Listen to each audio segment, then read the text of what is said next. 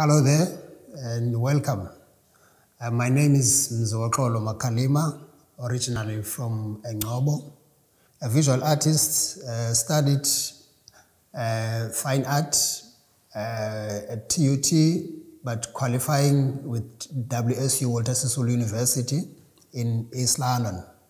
But I'm sort of a person who's creative because of understanding my drawing I've been able to teach myself uh, towards these two pieces that I'm standing next to, which is the sculpture.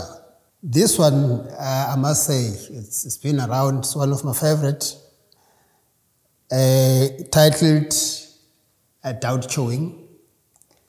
With this piece, uh, I don't want to say um, it's political, but uh, there's a bit part of it that was addressing political issues.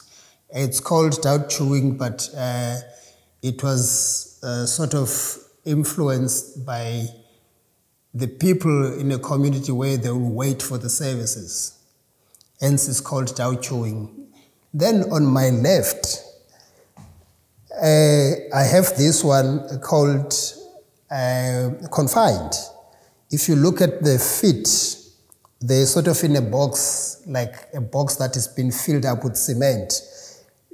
This one, it, it addressed in a way the issue of a lockdown where people had to, to, to stay by, in, inside doors. But I mean, with the community in a township or in a rural area, we don't, we don't really get people to do that. If you look at these two figures, these are neighbors but they are together and with one with a mask just below her nose. So in, in, in a way, even with my painting, uh, including the sculpture, uh, I sort of address the current issues of everyday life with my kind of work. Under the theme called uh, Ordinary People, that has been my theme that I work under when I'm creating my artworks. When I get influence, it's got to be under the ordinary people where I look. Uh, thank you for taking time and interest in viewing these pieces of works.